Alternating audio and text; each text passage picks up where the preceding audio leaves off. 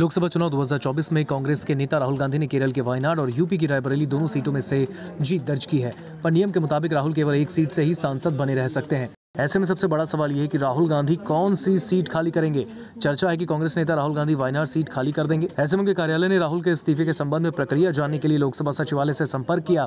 चूँकि राहुल ने रायबरेली और वायनाड दोनों सीटों से जीत हासिल किया और उन्हें चुनाव के चौदह दिनों के भीतर एक सीट छोड़नी होगी। ऐसे में राहुल के ऑफ़िस ने पिछले हफ़्ते उनके इस्तीफे की प्रक्रिया के बारे में जानकारी लेने के लिए सभा की टेबल ब्रांच से कांटेक्ट भी किया। सूत्रों ने बताया कि लोकसभा अध्यक्ष को अभी तक उनका इस्तीफा नहीं मिला है। चलिए आपको बताते हैं इस्तीफे से जुड़ा नियम क्या है। आर्टिकल 240 एक के तहत अगर कोई सदस्य लोकसभा या किसी सीट से इस्तीफा देना चाहता है तो उसे सदन के स्पीकर को अपने हाथ से लिखित पत्र के रूप में इसकी सूचना देनी होगी। हालाँकि उन्हें इस्तीफे का कोई कारण बताना ज़रूरी नहीं है।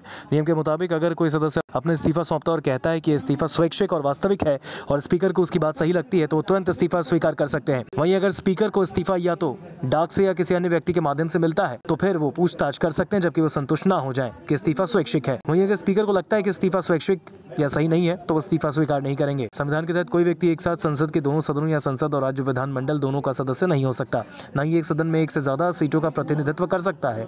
संविधान के अनुच्छेद 101 एक में जन प्रतिनिधित्व अधिनियम उन्नीस सौ इक्यावन की धारा अड़सठ एक के तहत अगर कोई दो सीटों से चुनाव जीतता है तो उसे चुने जाने की तिथि से चौदह दिन के भीतर एक सीट से सांसदी छोड़नी होती है। अगर वो चुनाव परिणाम घोषित होने के चौदह दिनों के भीतर एक सीट से इस्तीफा नहीं देता तो उसकी दोनों सीटें रिक्त हो जाएँगी। ऐसे में राहुल गांधी को भी अठारह जून तक चुनाव आयोग को सूचना देनी होगी कि वो किस सीट से सांसदी बरकरार रखेंगे और कौन सी सीट छोड़ेंगे, नहीं तो दोनों सीटों से उनका दावा खत्म हो जाएगा। जन प्रतिनिधित्व कानून उन्नीस सौ इक्यावन की धारा तैंतीस सात के तहत कोई भी व्यक्ति दो संसदीय क्षेत्रों से चुनाव लड़ सकता है।